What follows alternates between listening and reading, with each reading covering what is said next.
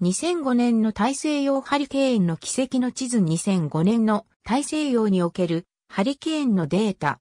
2005年の大西洋地域におけるハリケーンの活動は発生数の面でも勢力の面でも史上最高と言えるほど活発であった。また、2005年は大西洋ハリケーンに関する多数の記録が生まれた年でもあった。発生数は史上最多の27個で、それまでの最多記録であった21個を大幅に更新した。北、大西洋のハリケーンの名前リストは年次リストと呼ばれ、頭文字のアルファベット順に21種類の人名のリストをあらかじめ6セット用意し、1年ごとに1、セットずつ A から順に使用され、6年間かけて6セットのリストを一巡すると、再び1セット目に戻るループである。リストの後半にある V や W などから始まる名前は、ハリケーンが多数発生した場合にのみ使用されるため、実際には使用された例がほとんどない。21個を上回る数のハリケーンが発生しリスト上の名前を使い果たした場合は、アルファ、ベータ、ガンマなどのギリシア文字を順に続けていくことになっているが、この年は初めてハリケーン発生数が21個を超えたことで、史上初めてとなるギリシア文字のハリケーン、アルファが登場し、これだけでも前例のない事例となったが、そればかりかその後も次々と熱帯低気圧が発生し、最終的にはゼータまで使用されるという異例の記録が生まれた。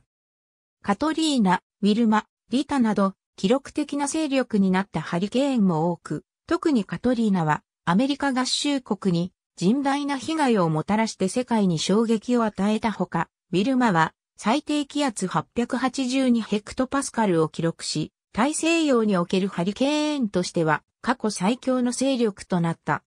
最大風速64ノット以上のハリケーンの発生数は15個に達し、従来の最多記録であった1969年の12個を上回り、過去最多となった。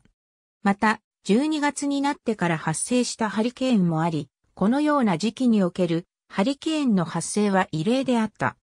2005年の前後の年における大西洋ハリケーンの活動に関しては、前年の2004年もハリケーンの連続襲来が話題となっていた。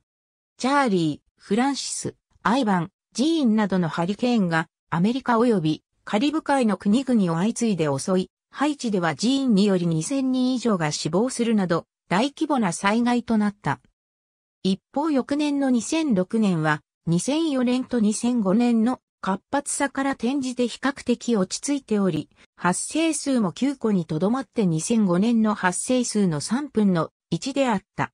ABCDE デジタル台風2005年台風のまとめ。agora.x.2.ac.jp。2020年8月5日閲覧。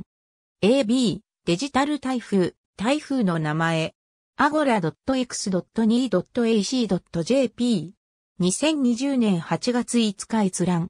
ABC 地球が見える2005年。JAXA 2020年8月6日閲覧。